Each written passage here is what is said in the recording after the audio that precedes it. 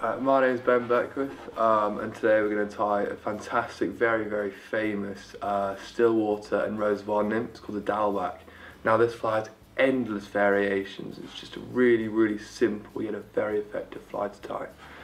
So, all we're going to need today is some thin black thread, some furnace cockhackle, some gold holographic ribbing material, peacock herl, jungle cock is very important for the cheeks.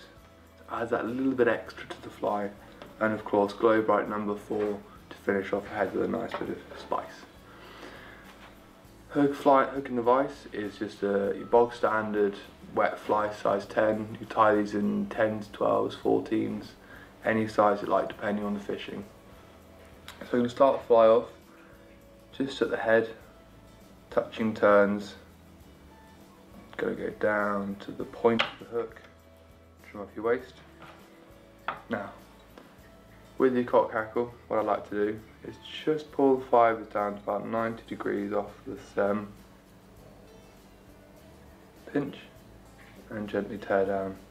And that will just line up all your tips quite very, very nicely. Then for the length, what I like to do is measure about the shank of the hook, pinch,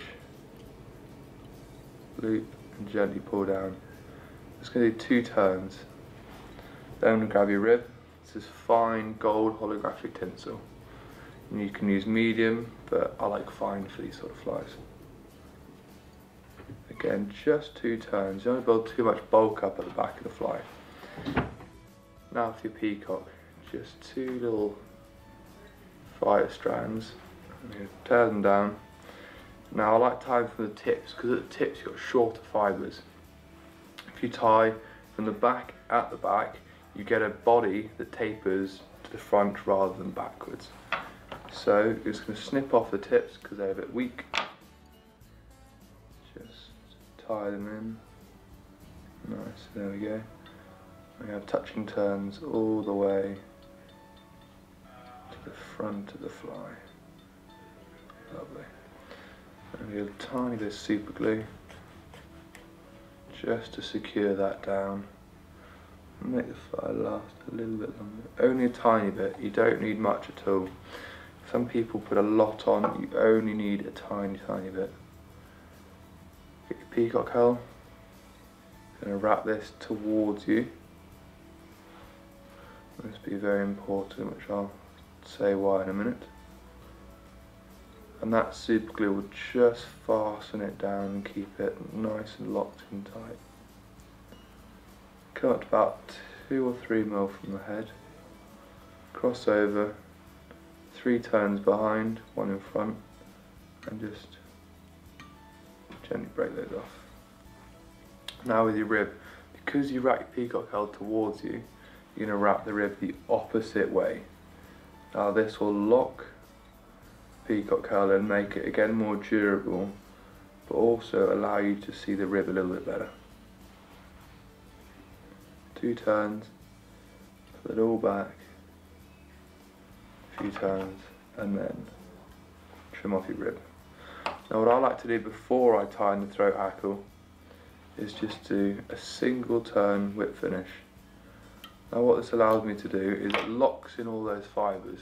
Now if you knock your bobbin what will happen is it'll all come loose and your hackle and your body and your rib will all fall off and you don't want that to happen. Now for your throat, again 90 degrees off the stem, same amount of fibres, pinch and pull. Just going to line that up just to the end of the body. You're going to pinch, pull up, a couple of tight turns, there we go. and then trim off your waste. Okay. Now I like to add jungle cock cheeks. Now the reason I do this is it can neaten your head and it also adds another dimension to your fly that fish seem to really, really like. So what you do is you get your feather, I'll just quickly show you now. You select the feather that you'd like to use, like this, And all you do is just pull away all these short fibres. Okay? Just like that. And I'll show you when I prepared earlier. So I did this one earlier and you can see that all the fibres are stripped. What you can do is just going to gently place this on top where it's got the split down the middle. Just going to do some gentle turns over the top. Make sure it's lining up properly yep. And you're going to come up and just trim that all off. Lovely. and there's your fly. Nice whip finish.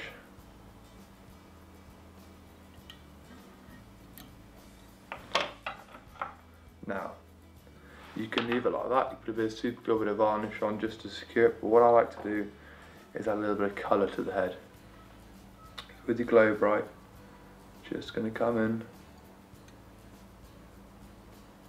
And just do a few turns to get a nice bright head on the fly. And again, whip finish.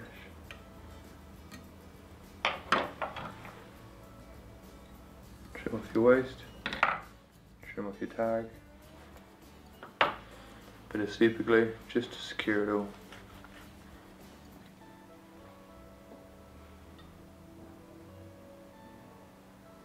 Nice and not too much, just enough you cover the head.